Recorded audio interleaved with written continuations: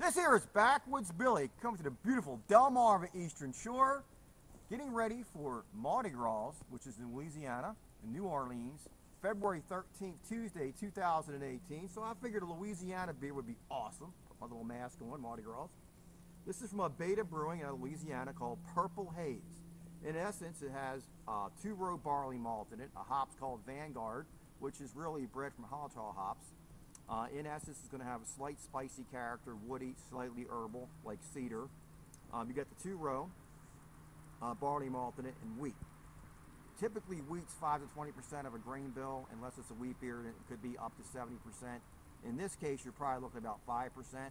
And then you have the fruit. Now, if I was going to do a five gallon version of this, raspberries, I'd use about a quarter pound, strawberries about a half a pound. You're looking at the flavor profile, how much water's in it, etc., to figure out how much fruit. Um, I actually called and spoke with the head brewer there, and he says in essence the beer is actually filtered like it says, and then the raspberry puree basically goes through a, um, you know, I'm just doing the micro, I imagine it's a filter it goes in there and takes most of the pulp out, and it actually uh, sits in a bright tank, and then they bottle it. So unlike me, where I would put something away for like a week to 10 days, they're going to immediately um, bottle this and force carbonate it. Let us take a look at what Abita has to offer here. Looking at 4.2% alcohol by volume, 13 IBUs. Good old pop top, a little bit of smoke, a nice little bottle cap, Abita. Anybody collects them, it's nice. We'll start our pour, 45 degree angle, very important. By the way, just to argue this, you can go to the American Brewers Association, and you can also go to the Craft Brewers Association. That's how they tell you to pour, same way as a draft. Also, if your glass is soap scum in it, you're going to have a problem. If you, I have to use a chemical to clean mine, I'll have that issue. Um, the beer is slightly hazy. On here, I'd actually say this is probably close to an SRM 10, between 9 and 10.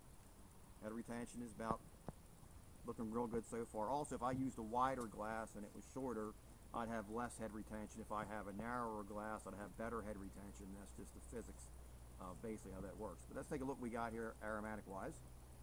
Head's going to be light, off-white ecru. Smell raspberry. Now with the two row, you can get some bready notes with this, some biscuity, maybe even some light honey. Very, very light um, two row. And the wheat's going to give you some bready notes as well.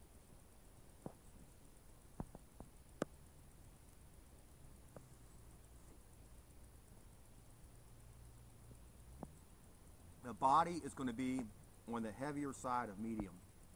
When it's thought it been lighter, but I actually think the body's actually on the heavier side of medium.